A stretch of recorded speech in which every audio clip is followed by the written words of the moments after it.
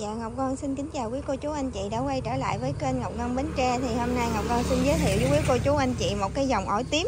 Cái dòng này hôm nay quý cô chú anh chị hỏi rất là nhiều. À, cái dòng ổi tím trân châu này có phải là ổi ờ, Ayothai A3 hay là ổi Sisaket của Thái Lan không? Thì dạ xin thưa đây là hai cái loại khác nhau. À, cái lá khác nhau và mẫu trái khác nhau nó chỉ giống là cái màu lá nó hơi tím tím nha quý cô chú anh chị. Đây là dòng ổi tím trân châu đột biến. Thì cái dòng này thì trái ăn rất là giòn cũng rất là ngọt luôn á quý cô chú anh chị. Ngọc Ngân sẽ chèn cái ảnh trái ở trên video để cho quý cô chú anh chị xem. Thì cây giống của mình nó rất là khỏe mạnh luôn nó là cây chua cành thì chiều cao cây là khoảng là 50 cho đến 50 xăng cho đến 60 xăng tùy theo thời điểm quý cô chú anh chị lấy. Thì đây là một cái loại cây mà mình có thể là trồng chậu vẫn cho trái bình thường nha quý cô chú anh chị.